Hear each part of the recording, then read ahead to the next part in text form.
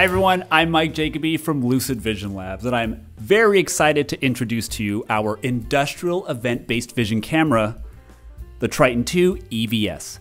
The Triton 2 EVS features unique sensors, the 0.9 megapixel IMX636 and the 0.3 megapixel IMX637, with these sensors being made possible through a collaboration between Sony and Prophesee, combining Sony's CMOS image sensor technology with Prophesee's unique event-based MetaVision sensing technologies.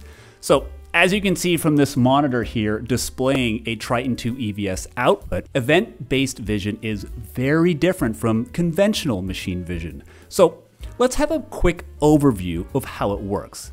To simplify things, let's zoom in into a single pixel and get a general idea of what's going on. The pixels on these sensors work by sensing changes in luminosity. In other words, it detects changes in brightness. If the light that's hitting the pixel stays at a constant rate and doesn't change, the pixel doesn't trigger an event and no pixel data is sent to the host PC. But if the incoming light changes, either becomes less or more, the pixels will register that change and send an event signal. but it will only visualize the change in brightness. Once the incoming light stabilizes to the new intensity, event data will cease. It's not until another brightness change that the pixel will send another event. So, what's something that causes a lot of brightness changes? Motion. So to demonstrate this even further, I have here a monitor set off to my right to visualize event data. So if I were to stay very still, not a lot of pixels will be sending event data to the host PC.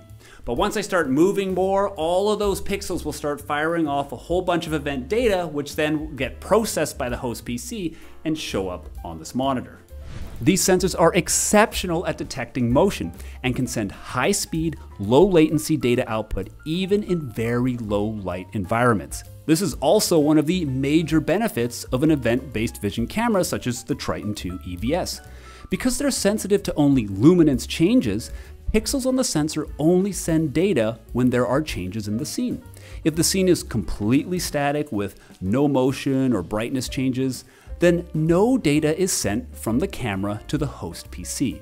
This is very different from cameras with conventional sensors, which send image data at a set frame rate no matter what happens or doesn't happen in the scene. This means the Triton 2 EVS cameras are not only efficient with data transmission, but also very high speed when motion is in the scene.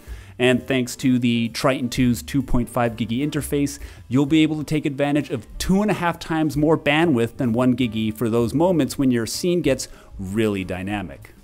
When you pair the unique event vision properties of these event-based vision sensors with the factory tough features of the Triton 2, you get a compact, IP67 PoE ready industrial camera that's perfect for many types of industrial applications, such as object detection, optical flow, particle size monitoring, vibration monitoring, high speed counting, and more.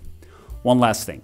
You can use our ArenaView GUI to quickly set up a live stream like I've done here, but the real fun comes when you connect the Triton 2 EVS with Prophesee's MetaVision Intelligence Suite SDK, which comes complete with a viewer, advanced APIs, algorithms, code examples, tutorials, and documentation to get you started. So that's it for this video. I just wanted to give you a brief introduction to the Triton 2 EVS cameras. Please visit thinklucid.com for more information.